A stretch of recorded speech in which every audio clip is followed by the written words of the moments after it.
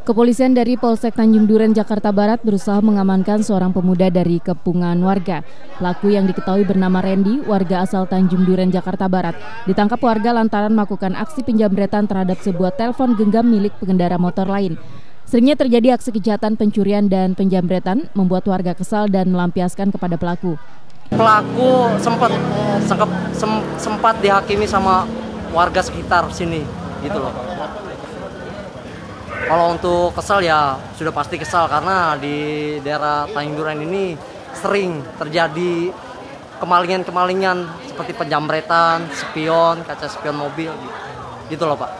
Demi kepentingan penyelidikan lebih lanjut, pelaku yang sudah babak belur beserta sepeda motor yang digunakannya dibawa polisi ke Polsek Tanjung Duren, Jakarta Barat.